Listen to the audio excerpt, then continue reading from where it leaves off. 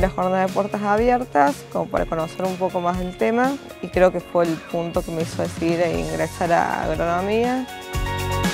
Se nota mucho las ganas de, dar las clases, la vocación del profesor, obviamente, como una enseñanza mucho más personalizada en el sentido de que están ahí ayudándote, eh, si te ven que no, que no entendiste algo, sabes que puedes preguntarlo.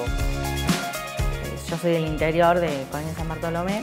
Elegí esta carrera principalmente porque estoy vinculada al sector lechero de parte de mi familia, tenemos un tambo.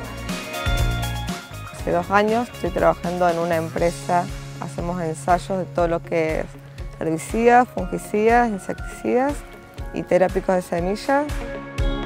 El hecho de no tener campo, la verdad que no es una traba para, empezar la carrera, la verdad si te gusta. Eh, yo no tengo campo y la verdad que no se nota. Eh, todo lo que es la enseñanza y todo eso es totalmente integradora. Una de las mejores experiencias que me deja mi paso por la UCC fue un intercambio que hice el año pasado, una pasantía de dos meses y medio en Estados Unidos, en la Universidad de Delaware. Cuando estaba cursando me gustó mucho la parte ganadera, eh, pero bueno, con el correr de los años y con las experiencias que te va dando la universidad, me fui inclinando más para la parte agrícola. Está desde la agricultura, lo que es la parte agropecuaria con los animales, la ganadería, eh, también la parte de la investigación, la verdad que las ramas de la, de la carrera son muy amplias.